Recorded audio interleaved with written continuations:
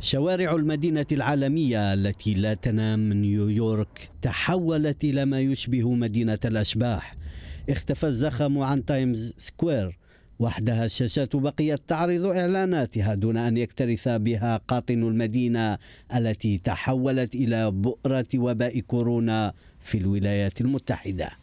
وضع دفع حاكم الولاية أندرو كومو إلى توقع الأسوأ في الأيام القادمة. أعتقد أنني لم أشعر أبدا بهذا العبء الجسدي والعاطفي في حياتي. أشعر بحزن لا يصدق لأن الكثير من المرضى يموتون دون وجود شخص بجانبهم. عدد الإصابات والوفيات المتصاعد أعلن معه حاكم نيويورك إنشاء أربع مستشفيات مؤقتة في منشآت كبيرة إحداها مثلا في مسار لسباق الخيول في كوينز. ومن المقرر أن تصل سفينة تابعة لسلاح البحرية مجهزة كمستشفى تضم ألف سرير و1200 موظف صحي.